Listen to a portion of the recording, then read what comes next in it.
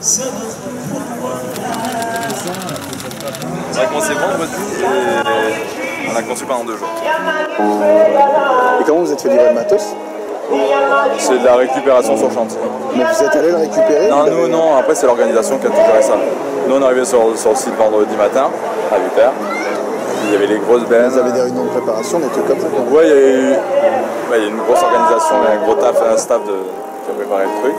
Et après, nous, on a eu des réunions pour présenter, pour, euh, pour dire comment ça s'organisait. Euh, Vous aviez des groupes de projets différents à chaque ça. fois Nous, on a- moi, j'ai une équipe qui s'est constituée, je connaissais personne.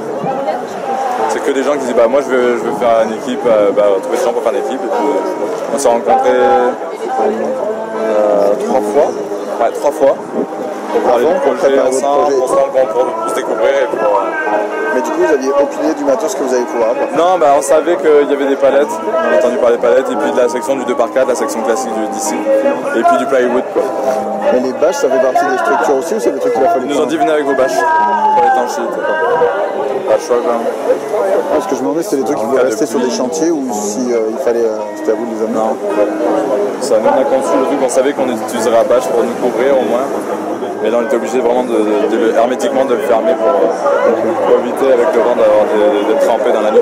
Les gens se sont fait sauter dans la nuit et puis euh, parce que là il y a la tente des bénévoles qui est derrière, qui est une sorte de, de yourte, la yourte là blanche. Ils ont fait des extensions, ils étaient 30 je crois la première nuit, juste dans le rond, pas dans la et, et là cette nuit il y en a qui sont fait un petit peu mouiller. quoi.